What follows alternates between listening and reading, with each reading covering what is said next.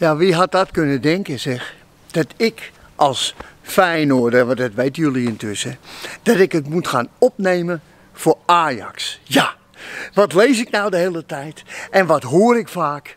Dat de media en alles en, en wat er geschreven wordt en wat er gezegd wordt, dat dat allemaal een beetje verajaxed is. Dat die altijd maar Ajax voortrekken en positief zijn over Ajax. En dat is wat er beweerd wordt. En nou moet ik dus, als Feyenoorder, moet ik dus gaan vertellen dat dat niet zo is.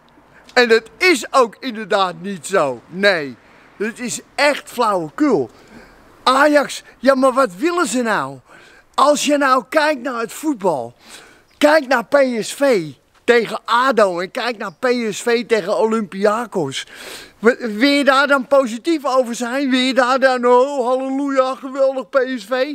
Dat kan dan toch niet? Dat is dan toch onzin? En neem bijvoorbeeld nou Feyenoord. Neem nou bijvoorbeeld de eerste helft tegen Willem II. Nou, ik heb werkelijk in een hele lange tijd niet zo slecht voetbal gezien. Het was werkelijk niet om aan te gluren. En neem dan bijvoorbeeld ook nog even Feyenoord. Ja, helaas dat ik het moet zeggen. Tegen Heerenveen. Nou, wat daar nou... Hoe is dat nou toch allemaal mogelijk? Dan sta je dus 10 minuten voor tijd. Sta je dus met 3-1 voor.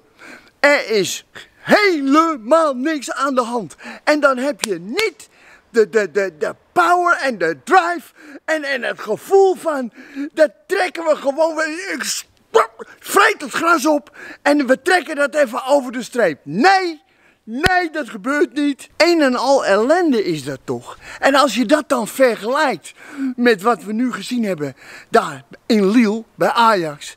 Daar, Ajax, die, die, ja, die speelden gewoon fantastisch. Ja, echt waar. Ik, ja, het kost me echt moeite om naartoe te geven, maar het is wel zo. Ajax speelde gewoon een hele goede wedstrijd. Prachtig voetbal weer echt, als je een liefhebber bent, dan geniet je daarvan. Ajax was echt om door een ringetje te halen.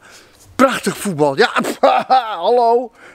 Kost me moeite genoeg om dat allemaal te zeggen over Ajax, jongens. Maar ja, eerlijk is eerlijk, zo is het wel. En daarbij, en dat vergeet iedereen, Ajax krijgt lang niet altijd applaus hoor.